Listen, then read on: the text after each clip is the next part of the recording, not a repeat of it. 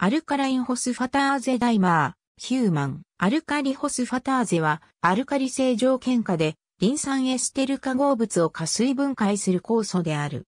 最適 pH は10.2である。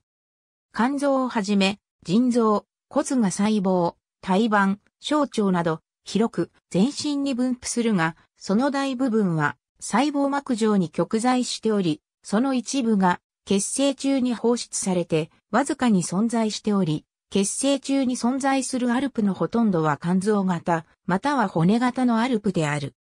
血清中のアルプ濃度が上昇する場合には、これらの臓器の壊死や破壊に伴う修復活動として細胞再生が行われており、これに伴ってアルプの合成更新が行われ、血中への放出が進んだものと考えられる。前述の臓器に損傷があった場合いずれの場合も、アルプ値の上昇を招きうるが、臨床検査では、アルプは主として肝機能の指標の一つとして扱われることが多い。遺伝子工学では、組み換え効率を高めるために制限酵素で切断したベクター末端をアルカリホスファターゼで処理する。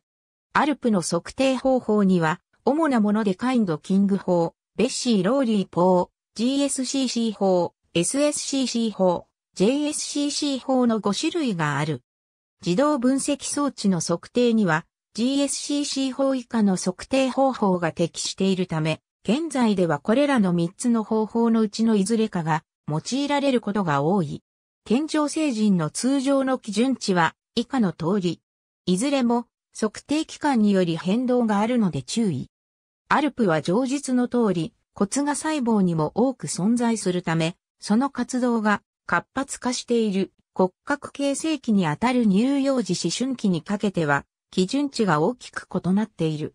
骨折時にもアルプ値が上昇することが知られている。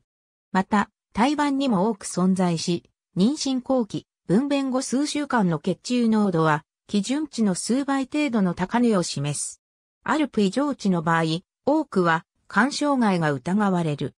特に AST や ALT の上昇があまり見られないにもかかわらず、アルプ値が上昇している場合には、単重の訴えの可能性が高く、横断などを発症する場合が多い。また、肝臓や骨に癌がある場合もアルプは上昇する。